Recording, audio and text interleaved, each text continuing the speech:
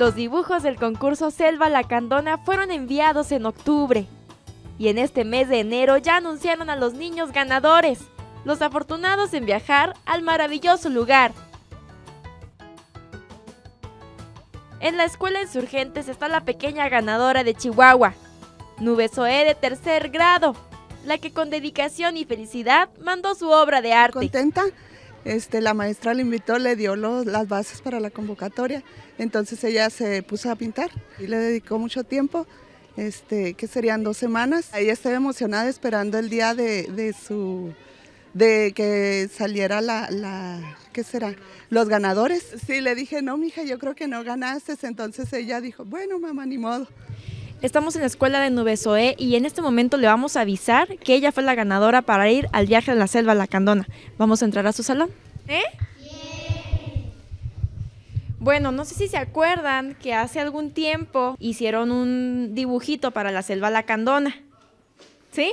¿Quién es Nubesoe? Pues sabes qué, tú ganaste.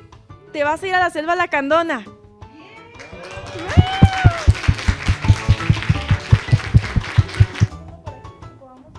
Zoe sigue sorprendida, pero dijo estar muy contenta. Un leopardo, un tucán, un guacamayo. ¿Y si te gustó? ¿Te gustó tu trabajo? Dijiste, sí, voy a ganar. Sí. ¿Sí? Toda su familia la acompañó para darle la sorpresa. La felicidad estaba acompañada de muchos abrazos, por supuesto, de sus amigas.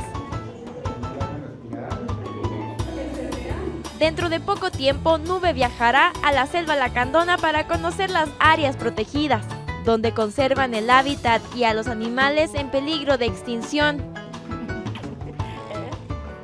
El gran trabajo de Nube la llevará a vivir una gran experiencia con imágenes de David Sainz, Janet Torres, Azteca Noticias.